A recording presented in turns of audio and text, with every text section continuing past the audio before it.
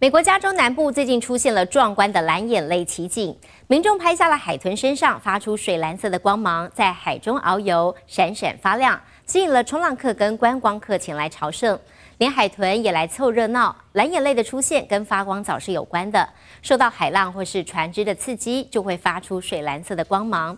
而蓝眼泪呢，一般是出现在热带以及亚热带地区。不过，美国加州相当特殊，夏末秋初的时候都有机会欣赏到。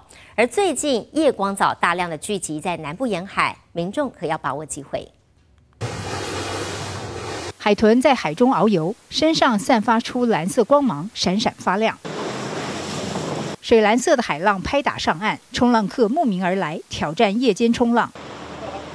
民众踩在沙滩上，透出蓝色光芒，在水中漫步，点亮海浪。这一刻无比梦幻。The waves are lit up from the bioluminescence. So when the waves are crashing, that's agitating the plankton. When the dolphin and fish are swimming through it, that's creating an agitation, the plankton up and create that beautiful blue glow. 美国加州南部再现蓝眼泪奇景，肉眼就能清楚欣赏。许多观光客前来朝圣，搭上小船来一场夜游，船边都能看见水蓝色的微光。The last couple of days, we've been experiencing a massive plankton bloom of photosynthetic plankton. 蓝眼泪一般出现在热带跟亚热带地区，不过美国加州相当特殊，夏末秋初都有机会欣赏。最近夜光藻大量聚集在南部沿海，受到海浪拍打刺激，发出光芒，形成珍贵的蓝眼泪美景。受到天气跟海流影响，不确定这次蓝眼泪会持续多久，民众可要把握机会。